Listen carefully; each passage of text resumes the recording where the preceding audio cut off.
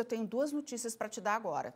A Polícia Rodoviária Federal terminou a Operação Ano Novo e com uma notícia boa, porque é uma notícia boa ou uma ruim. Nas estradas, é um número menor de acidentes, mas o número de autuações por embriaguez no volante foi maior em comparação com 2021. O Luan Martins volta aqui à nossa tela do Balanço da Manhã, trazendo mais informações sobre essa operação. Houve alguma morte aí nesse período, Luan?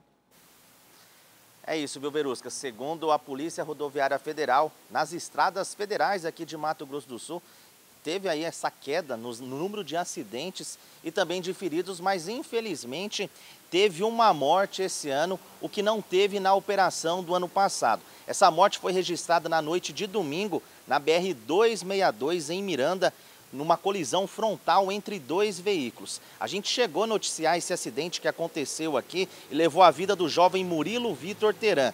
O acidente aconteceu porque o condutor do carro que o adolescente estava tentou desviar de um animal que estava na pista e ao retornar acertou aí um outro veículo. Agora o que chama a atenção, viu, Verusca, é o número de autuações por conta de embriaguez. No ano passado, durante a Operação Ano Novo, foram feitos aí 1.514 testes e desses 35 pessoas foram autuadas por dirigirem bêbadas. Três pessoas acabaram sendo presas. Este ano, o que, que aconteceu? Teve 2.129 testes, 40 pessoas foram autuadas por estarem embriagadas e desse total 10 pessoas acabaram aí sendo presas. Entra ano, sai ano, viu, Verusca? A gente continua alertando aí da questão da irresponsabilidade de alguns motoristas aí que colocam a sua vida e a vida de outros motoristas em risco, não é mesmo? Eu volto com você.